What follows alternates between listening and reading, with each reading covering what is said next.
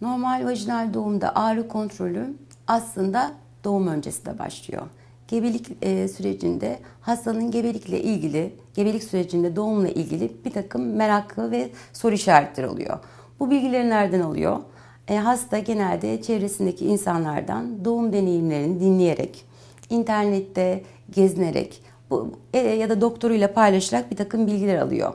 Genellikle bizim kültürümüzde e, doğum anıları biraz dramatik, cesaret verici olmayan, abartılı hikayeler anlatılıyor.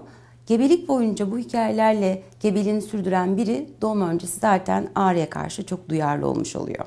Normal doğum süreci özellikle aktif eylem başladıktan sonra 4 santimden 10 santime kadar geçen süreç oldukça ağrılı bir süreçtir.